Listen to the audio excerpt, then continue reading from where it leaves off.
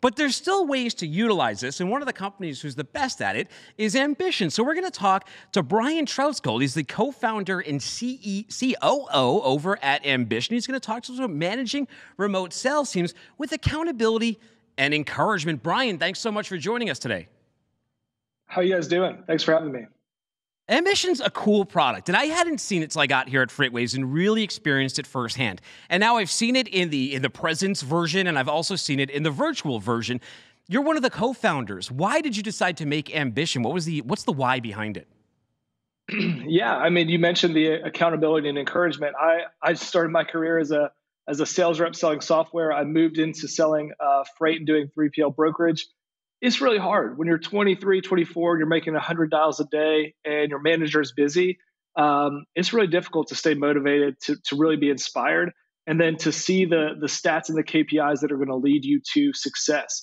And so we wanted to create a mission to create uh, the, the fastest feedback loop and the most, um, you know, the best leverage for reps and managers to, to be successful to hit those targets. So, so Brian, welcome to the show. Thanks for being on. Uh, this past year, the great work from home experiment and working mm-hmm. virtually. How do you keep those uh, teams? How do you keep your teams on target uh, in in this? We were just talking about the silo, and those silos become miles apart now with a virtual sales team. How do you keep, as a manager, keep those guys targeted and and in focus?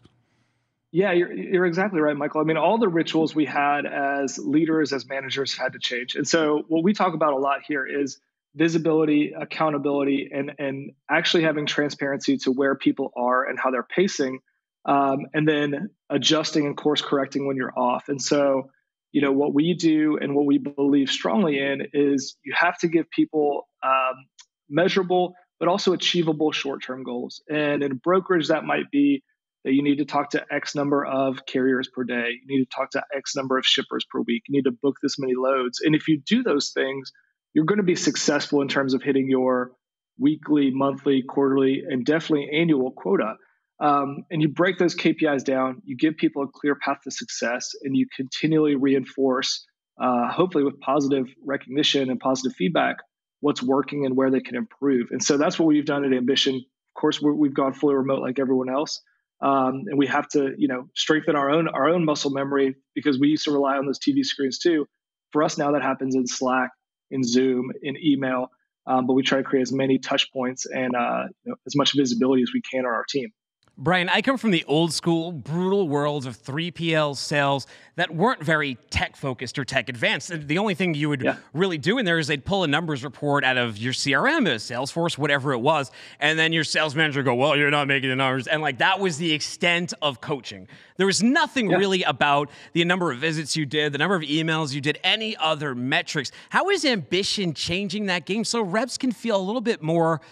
Involved in the coaching and it can feel like there's a little bit more feedback to it than just you haven't made your numbers. We already know we haven't made our numbers or we know when we have.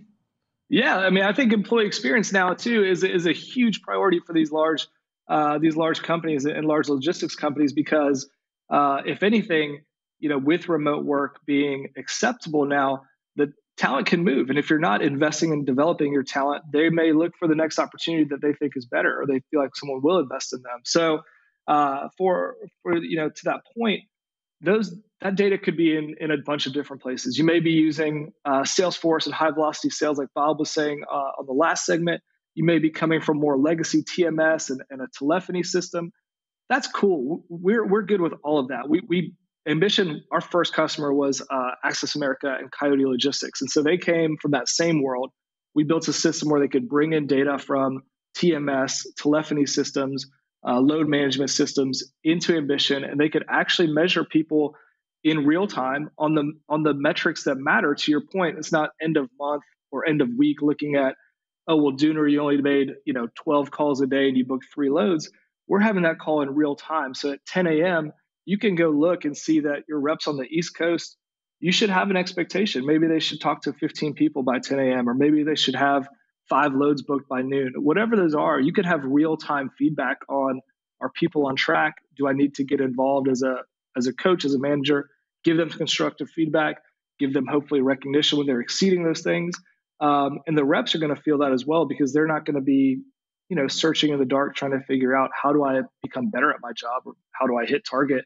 they're going to have that uh, you know that one-to-one relationship with the with the manager guiding them through the process and, and hopefully ambition is, is helping them do that that's excellent stuff. And you me- you mentioned you know giving them rewards, et cetera, and and a manager's actions. So you can gather all kinds of data we've seen before, and we're talking about it not only in sales but in in, in just your logistics uh, stream uh, supply chain as it is. But if you don't do anything with that that data or know what to do with that data, nothing happens. How do you convert data that you're gathering into, hey, Michael, your team is doing this? What is giving me those action points? Yeah, we talk about getting the right data to the right people at the right time. And so we really we really partner with the businesses when we're working with them. They they tell us what they care about or what that team cares about, maybe conversations with shippers or you know loads booked or, or margin in a load. Um, and they're going to set those targets. They're going to put them into ambition. They're they're going to have very custom metrics they can measure their people on, and that's where the feedback loop starts. And so they're going to see that uh, in real time versus the real data versus the expectation.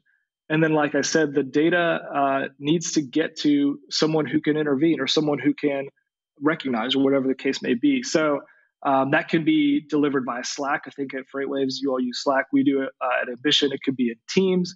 It could be in email. Um, it could be obviously on TV screens one day. You know, fingers crossed when we get back into the office. Um, but we believe, you know, the, the, the sales organization is going to work however it works. And right now it's working in primarily in email and in Slack and Teams. And so we get the data in there that they can utilize, uh, you know, to build that culture and to, you know, continue to, to get better. Brian, if people want to take advantage of your services, they like what they heard today, where should we send them to? Yeah, ambition.com. Very simple. www.ambition.com. Thank you so much for your time today and for joining us at the 3PL Summit. We appreciate it, brother.